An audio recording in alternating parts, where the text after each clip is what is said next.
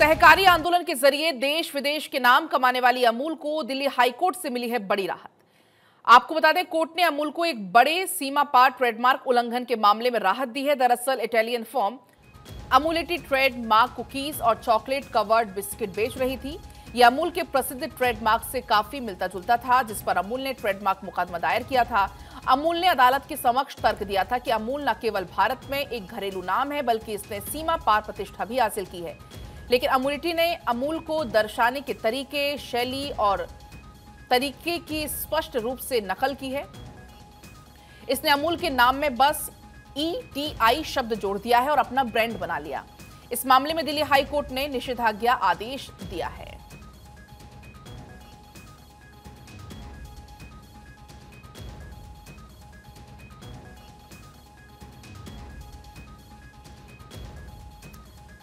तो ये बड़ी जानकारी है। बड़ी खबर आपको बता रहे हैं, दिल्ली हाईकोर्ट ने दिया है निषेधाज्ञा। हाईकोर्ट ने आईना दिखाया है अमूल की नकल दरअसल। इसमें की गई और ऐसे में दिल्ली हाईकोर्ट से मिली है अमूल को बड़ी राहत। कोर्ट ने अमूल को एक बड़े सीमा पार ट्रेडमार्क उल्लंघन के मामले में राहत दी है। दरअसल इटालियन फर्म है अमूलेटी इस ट्रेडमार्क कुकीज और चॉकलेट कवर्ड बिस्किट की बेच रही थी। इस अमूल के प्रसिद्ध ट्रेडमार्क से काफ़ी मिलता जुलता ये था।